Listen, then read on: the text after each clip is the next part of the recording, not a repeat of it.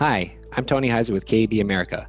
In this video, I'd like to demonstrate just how quick and easy setup of the KEB T6 auxiliary inverter for e-mobility applications can be. This will be a start to finish demonstration beginning from default settings to set up a permanent magnet servo motor to run in sensorless operation with CAN J1939 process data commands. Since it's a demonstration, I may go over some areas quickly, but we'll post another video which goes through the process in more details. So for now, let's get started. Here, I've launched CombiVis, the free software for KEB inverter setup and troubleshooting.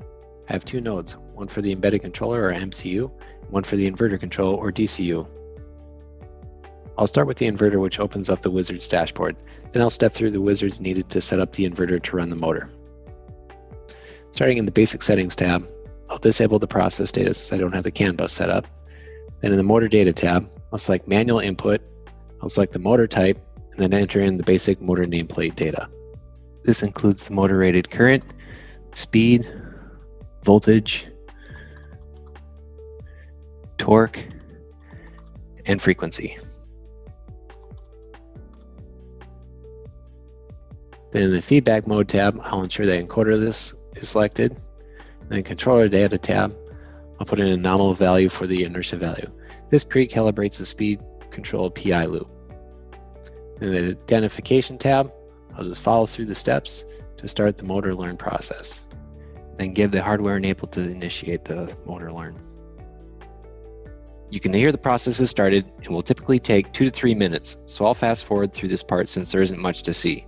During the process, the inverter will learn the motor resistances and inductances, then towards the end, we'll ramp up to speed to measure other characteristics. When the process is complete, I'll click to confirm and save the data and turn off the hardware enable.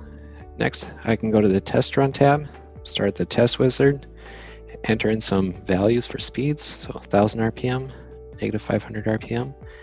I can also select a pre-configured scope trace, which shows the command speed and the actual speed. Then I'll give it the start command and a hardware enable. There I'll select the different speeds and I can see on the scope trace that it's ramping up to speed go back down to zero and in the other direction.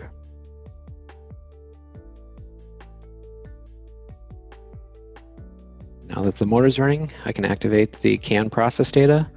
So I'll go to the field bus tab and then activate the process data mappings.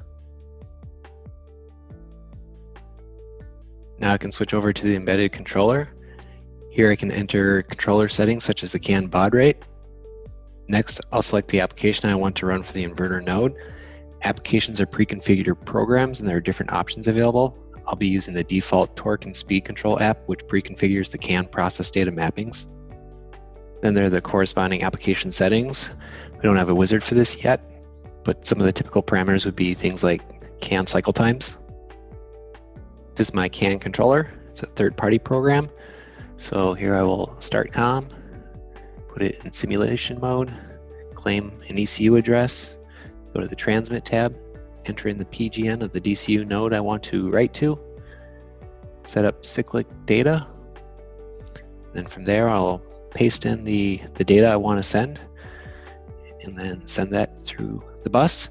So you can see communication there. What I'm sending is essentially a start command and a speed command. So I can go back to my CombiVis program, go to device parameters and open up the RU parameter group. And here I can see a speed command being given as well as a feedback command, current and voltage output. So there you have it, from start to finish with the KEB T6 auxiliary inverter, running a permanent magnet servo motor in sensorless operation with CAN J1939 process data. I hope you found this video useful and thanks for watching.